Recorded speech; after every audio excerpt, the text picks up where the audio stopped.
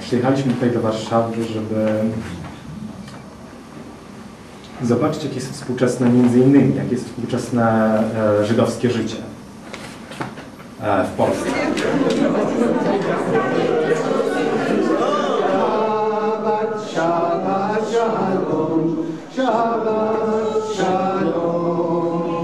Baruch Adonai, Eloheinu melech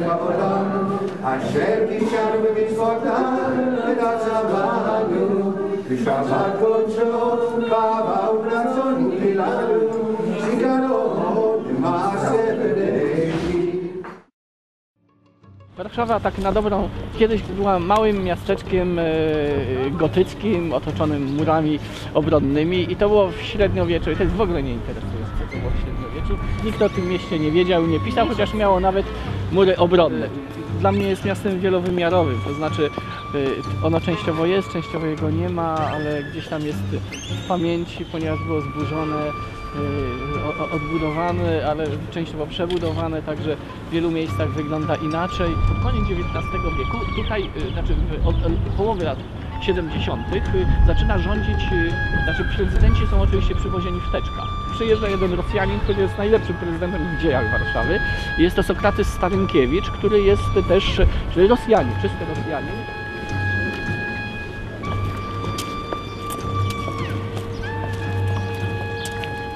To jest jedna część, to jest, ona jest jakby, ta warstwa ro, rosyjska jest niewielka, to znaczy najwięcej Polacy, powiedzmy Polacy, Żydzi i gdzieś tam Rosjanie.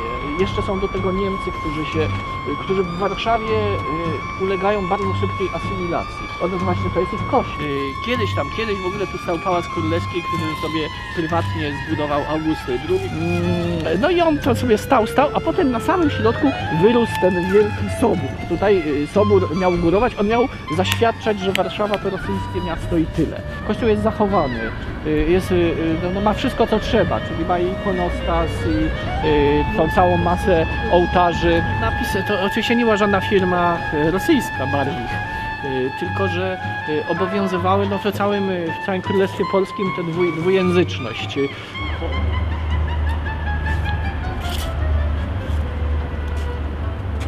Jerzy. Tam jest kościół świętego Wawrzynka. Y, y, Stomin, Szumin, to są wszystko na nazwiska kupców związanych y, z sprzedażą, z handlem herbatą.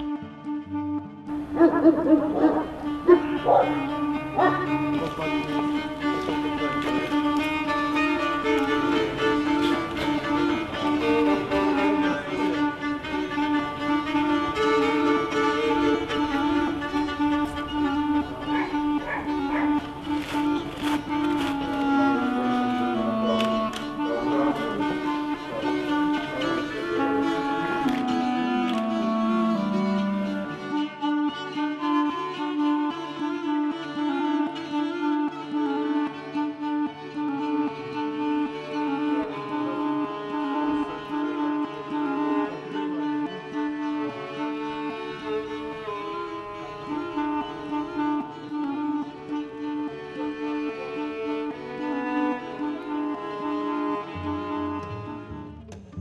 przykład w Wietnamie e, mieszka e, 54 narodowości.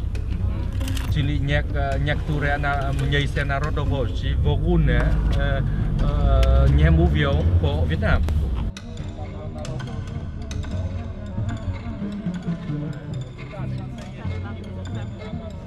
Podobno o przeszłości to Praga jako dzielnica Warszawy jest bardziej wielokulturowa. E, alfabet wietnamski to łacińskie, tak. I troszeczkę więcej liter niż polskie, ale nie dużo już nie zlikwidowane. To pan, symbol e, naszego buddyzmu, bo e, to pagoda na jedną nổi ta. Ta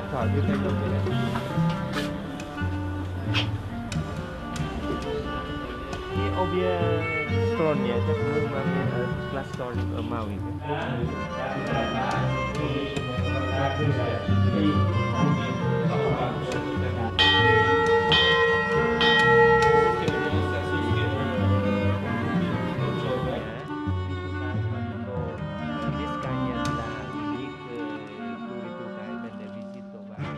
chce, to może próbować. O, tutaj na przykład krawiec, proszę bardzo. Bardzo dużo Polaków podjeżdża do usług.